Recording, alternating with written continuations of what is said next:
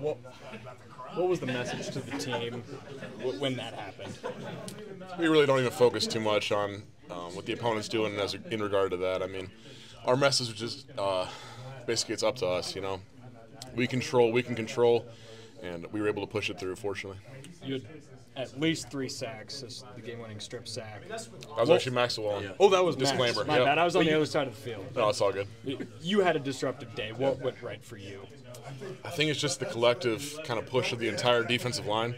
Um, our tackles were able to kind of keep them in the pocket long enough for me to uh, get back there, as well as our secondary. Um, they were locking it down, which was uh, was huge in that. You were the guy last year though to get that crazy turnover when backs were against the wall. To see Max do that, and just what a season he's had, Yeah. it- that just had to be an all-timer. It was awesome. I mean, I love that kid. I love this whole group. Um, he's put in the work to be able to do that in that moment. You know, he came in, kind of just uh, kind of a skinnier kid, put on some some size over the course of these years, and he's worked his butt off to be able to do that. Did he hit a spin move before that? I'm sure he did. Yep.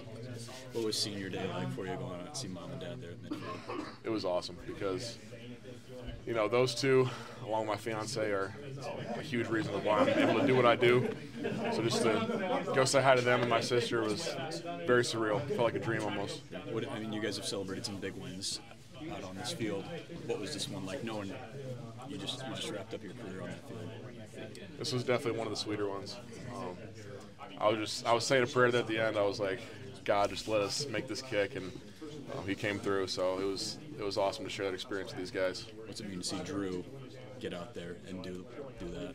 that was awesome. I mean, I really had no doubt. You know, I, I have full faith in Drew. He's an awesome player, and he, uh, he came in clutch. What did, what did you see on Max's play? That strip sack.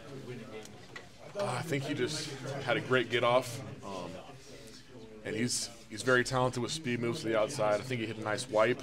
Um, he bent it very well, and was able to get the ball out, which is the most important part. At what was there a point like off season, this season, where you kind of saw the light on for him in terms of just his development? Honestly, I saw it last year. Um, even in like bowl prep and spring uh, spring ball, like you saw flashes of what he can do, and he's definitely just kept elevating throughout the summer um, with the lifting program and stuff. And yeah, he's he's just been on a steady ascent. Raiola fumbled it three times on sacks. Was that something you guys felt like you could exploit coming into the game? I mean, yeah, we are we're always going for the ball, obviously. So we definitely are preaching on that, and uh, fortunately, we were able to get it done.